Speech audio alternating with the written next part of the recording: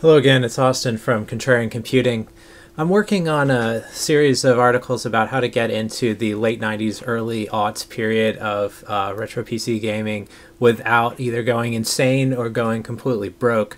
Uh, and one of the important things to keep in mind here is that if you're looking for specific components and you're searching for them by name on eBay, you're likely to spend a whole bunch of money because if you just put in, you know, 1.4 gigahertz Pentium 3 Tualatin or you put in Voodoo 5 5500 uh, in search and then pick the buy it now uh, auctions that are available, uh, you're going to pay hundreds of dollars uh, and it's going to be a very expensive hobby. Uh, the best way to pick up these components is to find them at recyclers uh, and recycling events for free, uh, to find them uh, through local connections on, on Craigslist. But if you're looking, if you live in an area where these sorts of things aren't readily available, you might be best looking on eBay.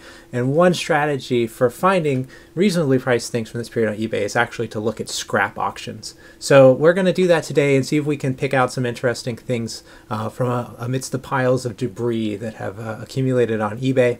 Um, while we're doing this, why don't we listen to some uh, nice music uh, by Night Radio? That is the uh, GNOME did SoundCloud of uh, Alexander Zolotov, the creator of the SunVox synthesizer. Uh, he has a new track called Signs of Night. We'll listen to that and some other things while we are looking around here. So let us start. So the um, search term I'm going to use here is computer scrap. Um, this is more of a catch-all than you can also, I mean, you can search for you know, graphics card scrap or video card scrap. Um, haha. And we will do some newly listed. You can do graphics card scrap. Um, for instance, we'll look at this, but it's going to weed out a lot of things that are poorly identified. And the stuff that's poorly identified, that's the stuff that's going to actually, uh, you know, be uh, uh, more likely to give you a bargain in terms of uh, finding something that slipped through the cracks. Um, so again, this is what video card scrap looks like. I've already sort of been through some of these earlier today, but we'll go through a few quickly. Uh, this, for instance. You can see sometimes it's not a great deal, um, but let's just do our computer scrap search. Okay, so here we have 99 cent auction, reasonable shipping, priority mail, uh, 11 pounds of could be anything, but I'm, I'm seeing a sound card in here. I'm seeing a motherboard back there. Um, none of it appears to be in terrible condition. We'll take a closer look at it. Let's just open some tabs. Um, you can find these beautiful gold bars made from the the pens of deceased Pentium Pros and such things. Uh, I don't recommend actually buying these things for gold scrap purposes, especially edge connectors. There's a very, very thin electroplating of gold on those edge connectors just to prevent corrosion. It's not a, it's not a huge amount of pure gold. Um, so don't do that. Anyway, it's much more fun to play Unreal Tournament on these things than to turn them into a bar of impure metal. Um, if you want to buy RAM cheap, sometimes buying by the pound is a good way. This is not a great auction at 349, but yeah. Here's another pile of things. I think we've already got this one open in one of our tabs. Yeah, so like these is this is just the edge connectors that are actually been cut off of boards. And some slightly better price RAM. I see something in here that looks very much like a Sound Blaster live card, so I know that the vintage here is correct for what I'm looking for late 2000s uh, sorry, late 90s, early 2000s. Um, we can open this one as well. And this one.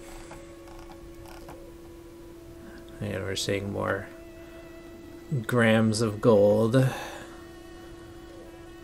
Usually the memory auctions are a lot cheaper, but you've this stuff's being posted every hour, so you really have to stay on top of it if you want to swoop in on something. I have found a Voodoo 5 5500 AGP in decent condition uh, listed as scrap and under a pile of other things. Um, a Voodoo card or something like that's a big score because they're very expensive if you buy them individually.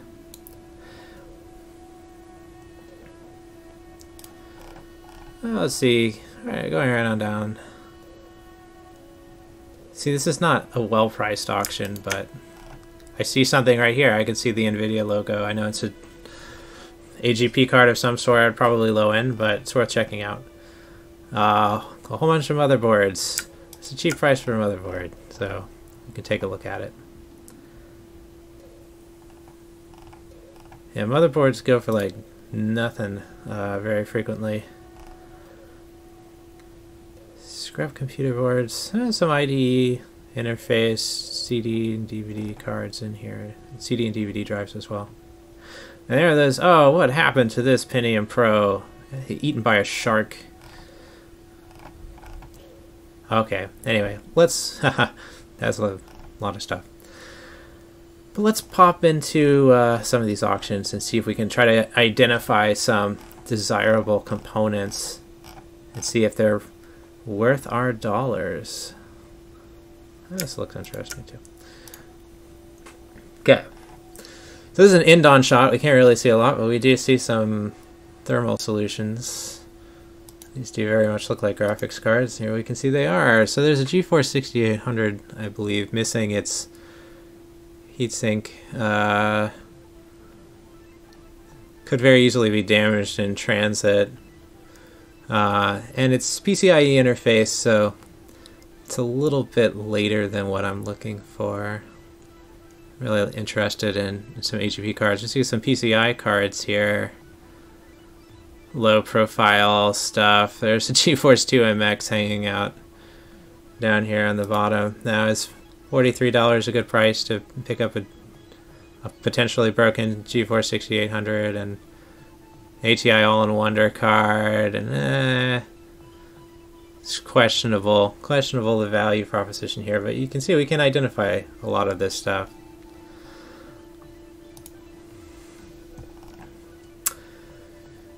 So here's another bin of parts. We're gonna look here, trying to scan. We see names like Conexant, it's probably gonna be a modem. We see some things that look like sound cards. And this, you know, Compaq riser board here is really interesting. Compaq spared no expense on this. Look at all those tantalum capacitors. Uh, sparing no expense in Compaq, not two things I typically associate with each other, but there you go. And some all-in-one solution, graphics, modules. Not seeing a whole lot here that strikes me as being of the period I'm interested in. Moving right along, you have 10 pounds, 8 ounces, 38 pieces of video card gold. Scrap recovery. So there's a, you can tell right away from the fact this is an AGP Pro card that has an additional uh, um, connector forward of it that this is uh, for a Power Macintosh uh, G4 with an ADC connector. You can also see uh, Apple uh, had a single connection solution for their monitors so that the graphics card actually power the LCD monitor. That was very cool. Um, we see on top of that we have uh, a very nicely produced, again, a lot of use of tantalum capacitors, ATI Rage card of some description. Rage Pro Turbo, maybe. There's an All-in-Wonder card. This dual you can see this dual um, VGA board here with those long extending connectors. You can see the blue plastic that connector extending far onto the board. That very much reminiscent of um, Matrox G400, G450 um, series cards. So this is very much the era we're looking for. And all these seem to be in mostly good condition. There's some kind of scraped up capacitors here on what looks to be a perhaps Dell OEM GeForce 4 MX card. Get some better pictures. So this is an NVIDIA board. AGP, It's got both of the, it's universal, so it's very likely a GeForce 4 MX with a 64-bit memory interface. Uh, moving up here, I'm not really sure, but there's a diamond, there's a diamond card right behind this. I think says 1998. That's very likely to be a Diamond Viper V550 TNT board uh, with the that connector at the top. I believe is to connect uh, an MPEG decoder board to. Yeah, let's find some more some more songs that I like here. Well, some some mystery and mystery and wonder while we're looking at this. So I'm thinking that's maybe a TNT card back there. Currently at 24.99 with one bit or 11 watchers. So some other people are wise to what's going on here. How much time do we have left on this? That's in Wahiawa. Oh, one day. Uh, I believe this is a early Quadro card. It looks there are a lot of FX series stuff that looks like this with the the cooling solution, but I think this might be Quadro two. It's not a bad card. Um, this again, this looks like a to me because it has the DVI connector, the SV, S video, the VGA. Um, only half the RAM is filled out. Uh, this looks like a GeForce 4 MX Dell OEM type card, like the 8X AGP version, which is not a bad card. Um, if depending on what you're trying to do, right? If you're not going for maximum 3D frame rates in, in Windows XP, but you're trying to play Windows 98 games, you're trying to maybe get some DOS gaming in there as well. Everything that NVIDIA made between the the Riva 128 and the end of the GeForce FX series has exceptional DOS performance, especially when you're talking about um, later DOS games that make use of VESA resolutions. They have an excellent VESA implementation. So if you want to play Quake, the DOS version of Quake with 60, 640 by 480 software rendering, or you want to play Duke Nukem 3D in high resolution, pretty much any AGP NVIDIA card uh, up to um, the end of the FX series is going to be great there. Now, there's some some interesting things in here. Okay, here's a, obviously a Quadro FX card. We can read it right off the uh, right off the heatsink fan. And then this is I don't know what it says under there, but Looks Matroxy to me. Okay, here we have a actively cooled ATI graphics chip. Was that ATI Rage Theater? It says so. This is is it a pre pre All in Wonder ATI Rage card? Okay, yeah, you can clearly read Matrox off of the bottom right here of this thing. So looks you know, I mean we can we can we can go on eBay uh, sorry we can go into Google image search now and we can search for the particular car if we're looking you know, specifically for a G400 Max or if we're looking something else and try to match that up but obviously Matrox obviously period. Um, there's that pro card. Oh this is another higher end. I think they had some 9600 XTs and stuff uh, at that time on the as an option on the Power Mac G4. So this is another uh, G4 card with the ADC connector. And what's this guy in the right here? Uh, if only I could read that text. It's a little too blurry, but it does look interesting. Then another. Okay, this is there's a lot of Macintosh stuff here. Okay, we're getting a good look at this Diamond card. Now, Diamond also did have a a number of uh, Savage S3 Savage base cards. I think um, this just has that one tantalum off in the right rather than the two astride the claw, uh, astride that crystal um, to the bottom left of the heatsink and this this upper left thing. So I'm, I'm thinking this is a Diamond Viper V550 TNT, also based on the year. You can take a quick look.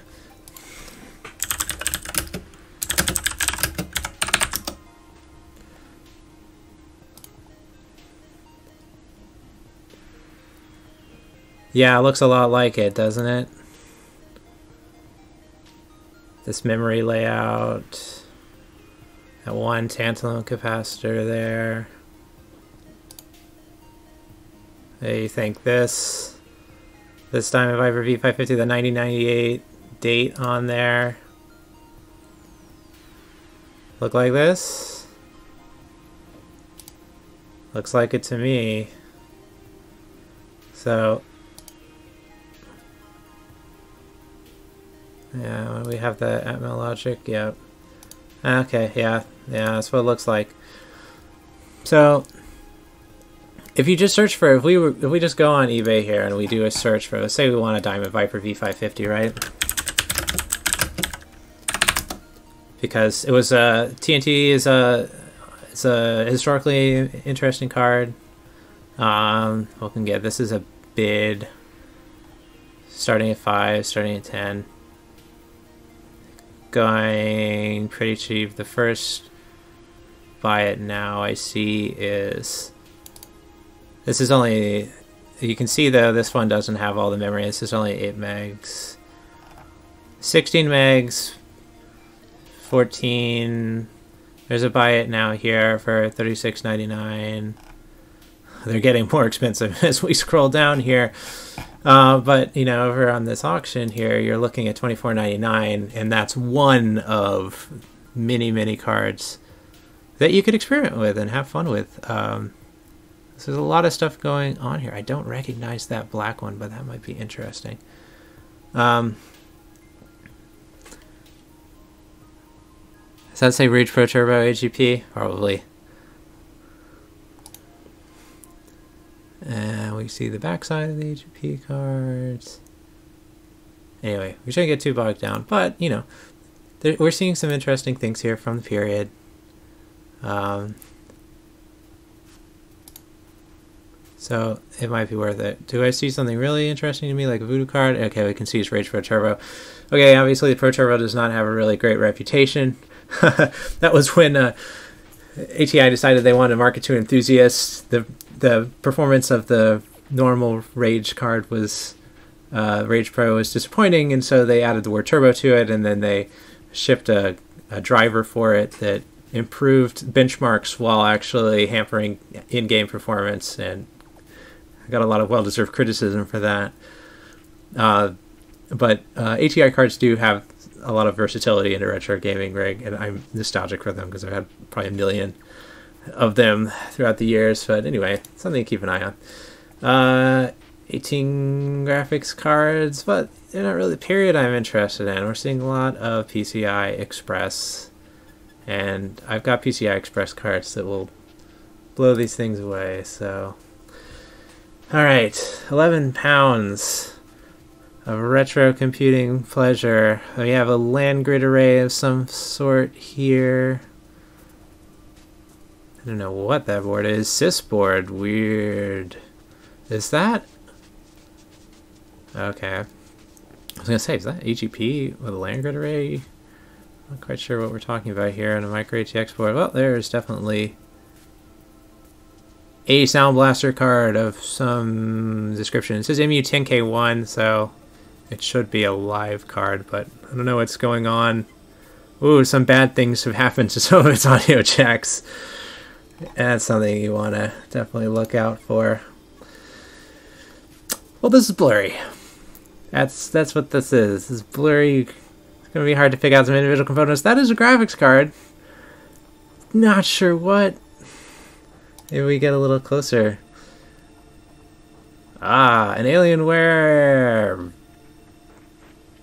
front panel board battery. know what's going on. Interesting though. Uh, here's that sys board that I'm, I'm interested in. Yeah, AGP with some sort of land grid array processor here. Definitely not what I'd be calling high-end. Uh, oh, what is this? NVIDIA? GeForce? Something? Oh, better. Okay, GeForce 4. MX440. By Asus. Uh, not high-end, but a lot of versatility and Is it worth 99 cents? Even if it has a 64-bit memory interface, it would still be worth 99 cents. Now, the question is, do you want to pay the shipping for all this other stuff, most of which you don't want? It's not like a big bin of fun necessarily like with that last auction. This looks like a a big bin of weird and OEM. It's a Oh, OEM motherboard of some description. At least has an Intel chipset.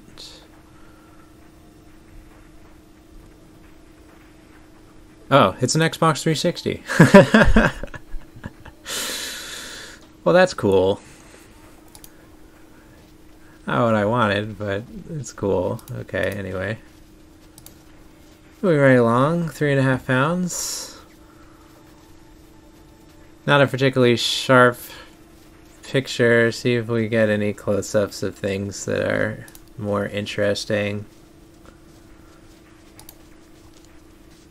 Eh, not really. Okay, 10 pounds of PCI cards, it says here. 24.99. Six watchers, so some other people onto this. There's probably something in here of interest. The backside of this looks very much like a Sound Blaster Live Value card. I don't see a digital audio connector on there, but I also find five toes and a standard configuration. So this is there's something here that looks very much like a like a, like an old Hauppauge uh, video capture card for PCI, and then some interesting looking top feature connector, probably the period I'm interested in graphics card that I can't quite see, and another graphics card I can't quite see behind it, and then a SCSI card, and then a graphics card that's completely sandwiched uh, between it and the other SCSI card. So it's a it's a bit of a tease. I can't really figure out what's going on there. So you look at this, and there's I see Compaq there, but this is an AGP connector with both notches. It's looking fairly long. Inspected by AR. What do we have here? We have uh, we have places for VGA, S-Video, and DVI but only VGA is actually soldered in. A lot of componentry, a lot of discrete componentry on the back of this board, more than I would expect for a real like low-end budget board or a you know like a GeForce MX type board, and also this something else here. This is interesting, but you see, we're not getting the we're not getting the side of this that would help us to identify. It. Now we see an NVIDIA Vanta card there, so that's a TNT card, NVIDIA TNT with a 64-bit memory interface, and we see this is quite interesting. An Aureal Vortex card. That's a great sound card. Um, has its own A3D API. Supported in a number of games. Uh, I think early versions of Doom 3. Um, totally worth exploring. So there's a lot of interesting stuff with the vintage. It's just it's a bit of a risk here, and there's some other bidders looking. I mean, if you're if you're trying to get an Aureal Vortex 2, how much would it cost you? You just type in Aureal Vortex 2.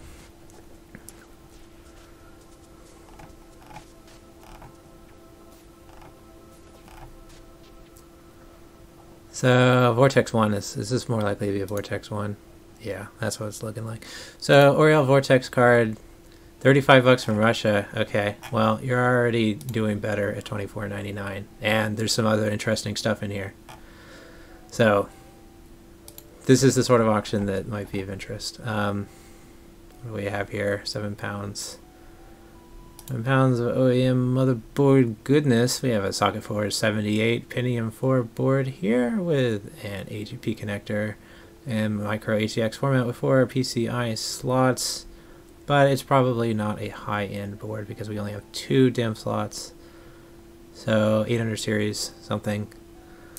Um, not a lot going on in the VRMs here except for three obviously bulging capacitors, not surprising. Dell actually didn't cheap out too much on, on capacitors. It's really the enthusiast boards from the early aughts where things look really bad. Uh, and it's those larger capacitors there, probably Nichicons, they're probably going to last for some time, but not unsurprisingly, these these uh, caps here, they may have gotten some slightly cheaper ones, and they have suffered from the capacitor plague. But that that's not a great reason to, to throw out a board like this. Uh, it's very simple to replace those capacitors. You can affordably do it.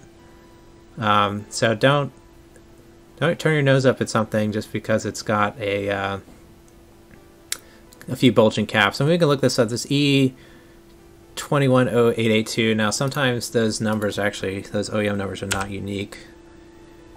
E what did I say it was? E 210882. Whoops. 88.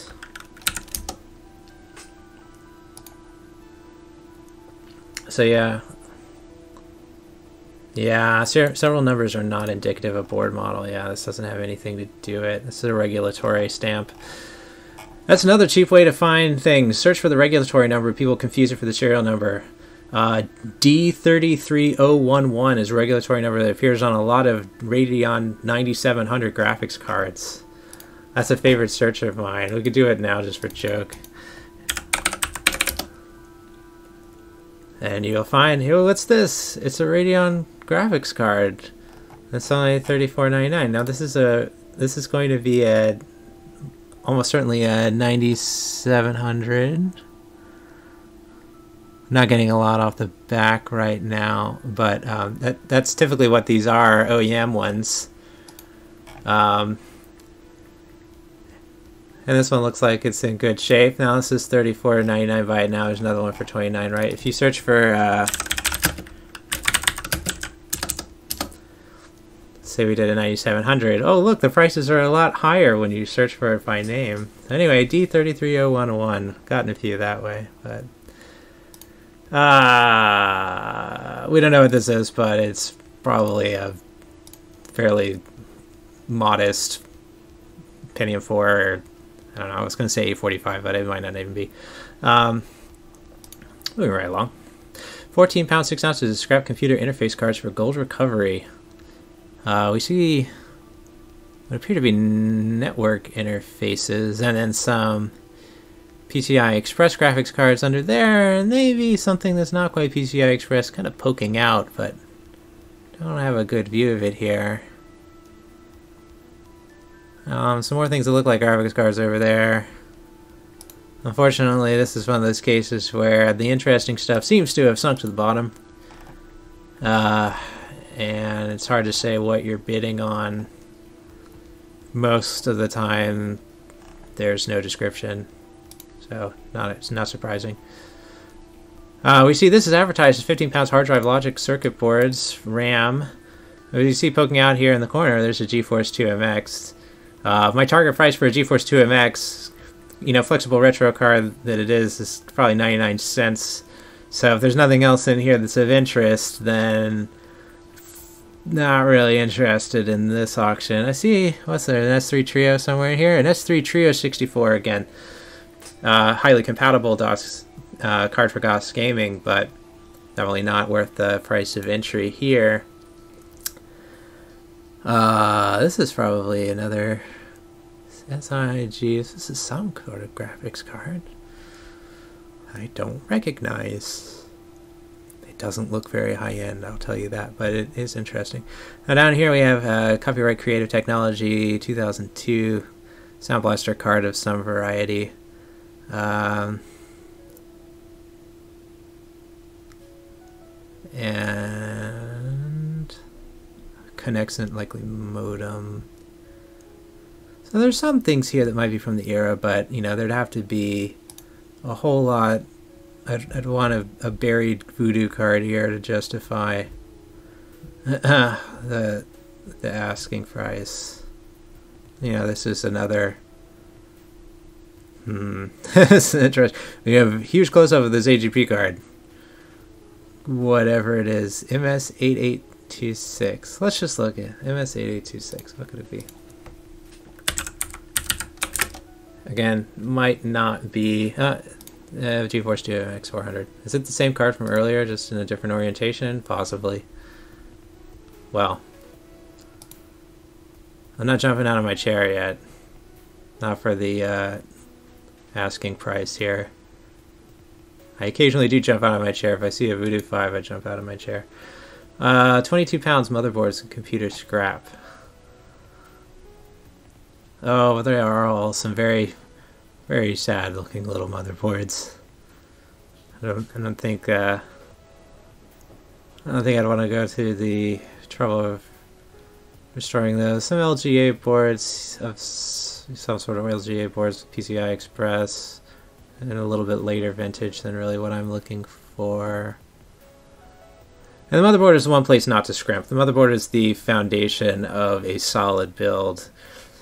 If it's old, something Intel, something that has a lot of high-end componentry, tantalum capacitors in place of um, surface-mounted uh, electrolytic capacitors wherever possible. And you'll see that on a lot of old Intel boards. They really built them to last. Uh, I don't see a whole lot here that's very attractive. 10 pounds, 8 ounces, 38 pieces computer, video card, gold scrap recovery. Did we already look at this one? It looks familiar. Yeah, I think I talked about the... Showed up in another search, but yeah, there's the Matrox card. A very high-end construction Rage Pro Turbo for whatever reason. And uh, that's it for this time. So we found a few things that might be worth uh, putting in a bid for it could give you a, a nice, uh, you know, trove of, of interesting cards to experiment with, uh, which is really what makes this hobby fun. Uh, so we'll do this again next week, see if we find the other cool things. Anyway, Austin from Contrarian Computing signing off. Have a good one.